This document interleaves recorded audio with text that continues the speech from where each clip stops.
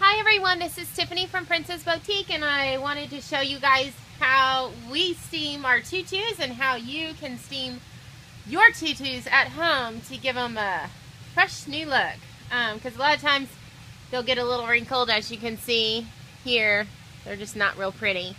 Um, but all you need for this is going to be a steamer and you can use, we have here, this is the shark steamer uh, but you can also use your iron.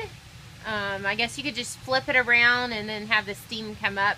And what you'll do is just take your tutu and go ahead put it right over and start combing through it, pulling on the ends a little bit.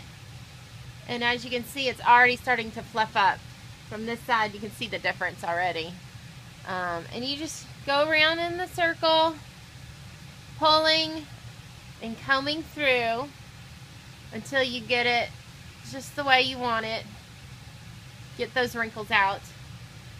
Um, now notice that sometimes the longer tutus take a little bit longer to seam just because there's more tulle to cover.